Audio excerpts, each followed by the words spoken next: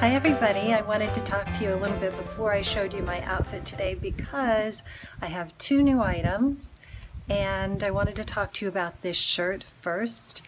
I wear this kind of an outfit, which is an Oxford cloth shirt and jeans all year long in flats. It's my favorite casual outfit to wear. Um, one reason is because of the Oxford cloth shirt is so comfortable. I think it's softer. It's also a more casual fabric.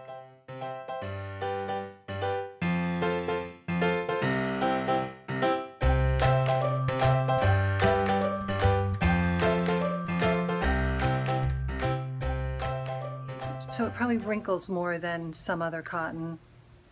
Um, but it's just so comfortable and cool when the weather is hot. So I wanted to talk to you about that. I got this at Lands' End probably a year ago, and I will put a link down below to my blog with the links to everything or similar items so you can see um, what Oxford cloth shirts are available today.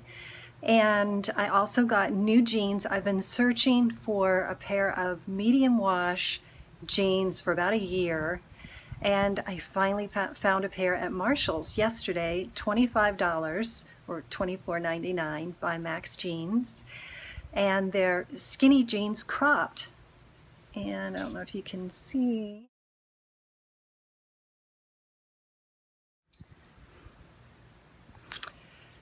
So I'm thrilled with them. I didn't know I would want cropped in medium wash, but I really like the look. And here in Florida, I can wear them year round.